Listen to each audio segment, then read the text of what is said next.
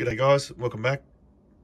In this episode, I'm going to be installing this indicator panel and showing you how to connect it into the Victron Fronius system. Here are the indicators I'm using. The blue light will come on when the batteries have reached 100% state of charge. The green light is a grid status indicator and the red light is the generator indicator.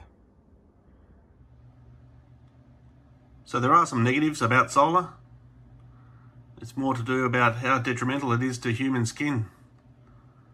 So the reason I haven't posted any videos for a little while is I've been putting some treatment on my skin, on my face, to get rid of any uh, sunspots. It's like a chemotherapy cream and it attacks any cells that are rapidly multiplying. So I've been staying out of the sun, just taking it easy inside, while that treatment's taking place and then I'll be able to get back into it. After 28 years of being a commercial industrial electrician, that sun has definitely taken a toll on my skin. So I've got to be very careful now. Make sure I get my skin checked every year.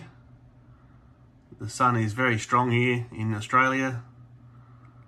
So make sure when you're working outside on the roof that you are fully covered up and wearing all your protection. I'll first use this small twist drill to start the holes, then move on to the step drill.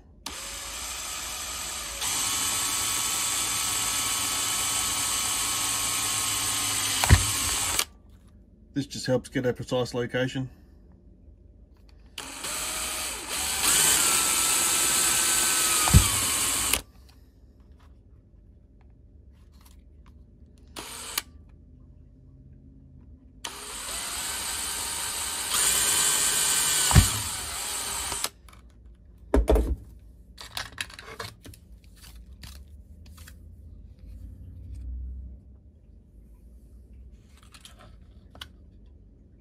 I'll now enlarge those three holes to the 20 mil mark.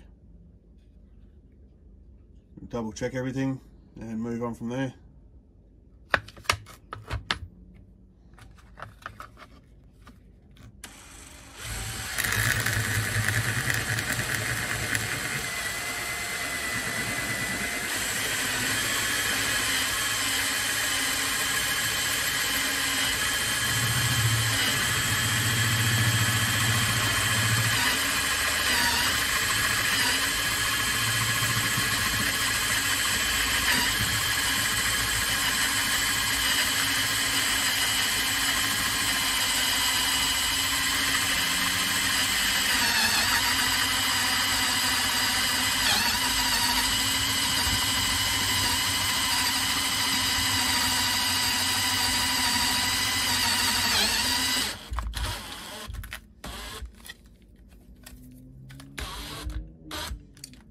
One more increment to go there.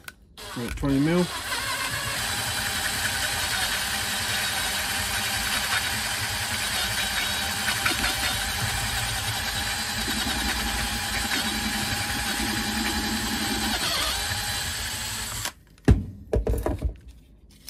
Have a quick look.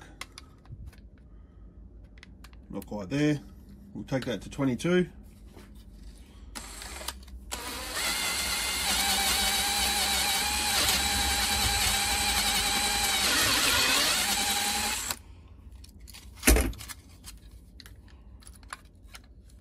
There we go, perfect. Take out the rest of them to 22. And then enlarge that hole in the cover plate only. I've got those three holes drilled through the cover plate and that base plate. Now I'll remove that cover plate and enlarge those holes so these can be screwed through that backing plate and then the cover plate can slide over the top of the indicator. I've got those two plates ready now. The head of the indicator fits through the cover plate and the body of the indicator fits through that backing plate. We'll put that together now.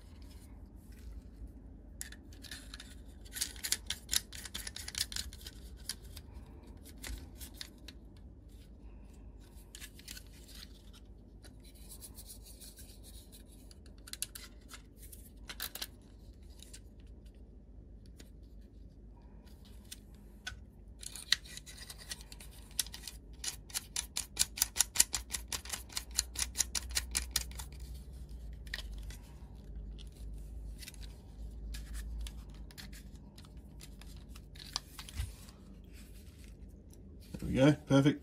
Now that cover plate can come off. Slide over those lights. You can fix it to the wall after connecting the back. Put that cover plate straight back on. Everything lines up perfectly.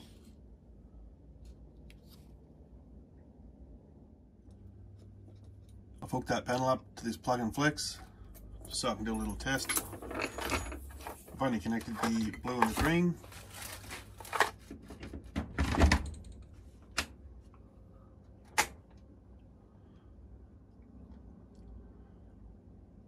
Got the blue light there, 100% state of charge, and the green light is the grid status. That should look pretty good. It's also going to act as a night light for the kids down the corridor there.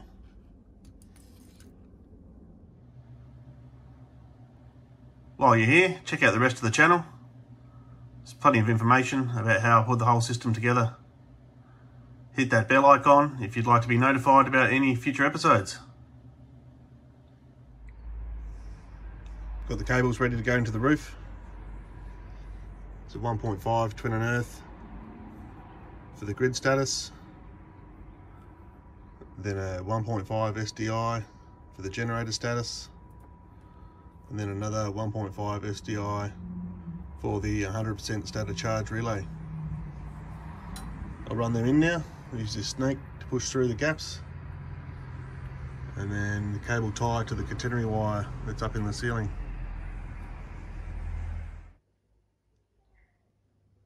This is going to be the location for the indicator panel next to the light switch in the hallway. I've removed that light switch from the wall. I'll drill a hole through the top plate and drop my drop chain down the wall that's going to be connected to the cables. Then I can pull that down and start terminating. This is the top plate of the wall above that light switch. I'll drill another hole next to that cable there so it's got its own entry and start feeding them down.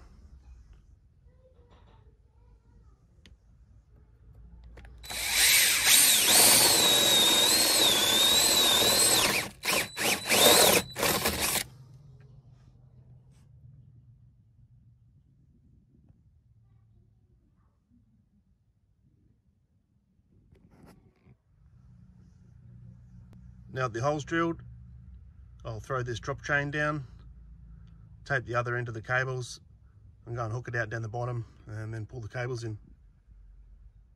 I've got the cables taped to the string. We'll drop that chain down the hole. And I'll go down the bottom and hook that out, pull the cables in. take my hook now and fish that string out.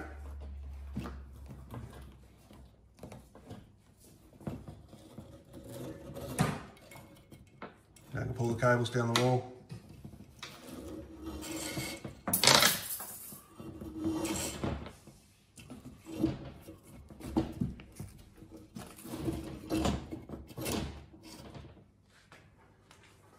Now we're ready to terminate.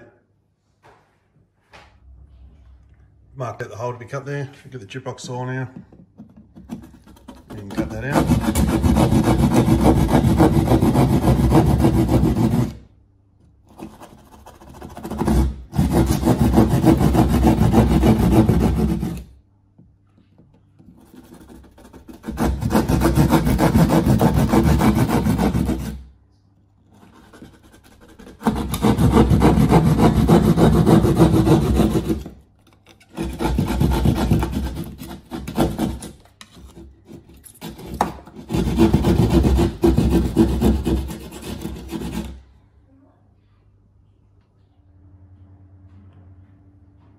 I've labelled all the cables, stripped off the ends and terminated them with the bootlaces. Now they're ready to go into those indicators. I've got the neutral and earth to terminate on this side. Once I isolate that lighting circuit, then these cables will need to be pulled into the switchboards down the other end and terminated. I'll get these fixed off into those indicators now. All the cables are terminated there. Got that 100% state of charge. Going to the blue light, the generator to the red, and the tariff to the green. The indicator panel is fixed to the wall now. Got all the lights off. So that means the tariff 33 is not live. The battery's not at 100% and we're not using the generator. It's quarter to nine in the morning. So the power entity has got the tariff switched off because we have peak loads in the morning when everyone's getting ready. Once that peak load drops down a bit, they'll switch that back on. If I ever need to switch the hot water service over to the grid, if there's a few rainy days, to ensure we've got enough hot water for the family, I can use that indicator to tell when I can uh, access that power. The hot water service is only connected to the tariff. So I can switch that changeover switch once that green light is illuminated and I know my hot water system is going to heat up. I've opened up the remote console on my other phone. You can see the system running there. If we scroll across, see the generator input. The generator's not started at the moment, but you can see the relay in operation. So click on, and that relay turns on down on the multi-plus. And then we've got the spa there. So if the battery's not at 100% and we want to have a spa at night time, just hit that relay. There we go, the spa will turn on.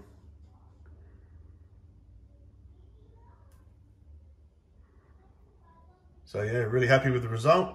Makes it nice and easy. I know what the system's doing without even touching my phone just for those few basic features. Thanks for watching another episode of Organic Power. Make sure you hit that like button down below. It will help spread that information to the rest of the community. Here's a little view of the system in operation today. This is the VRM portal. The battery's at float, 100%. We're consuming about $20 worth of power off the system every day, which soon adds up, saving us quite a bit of money every year. So we're one year in, and things are going sweet. Stay tuned. There's more episodes to come. There's a few more upgrades to go on the system yet. So I'll be taking care of that very shortly. So take it easy, guys. We'll catch you in the next episode.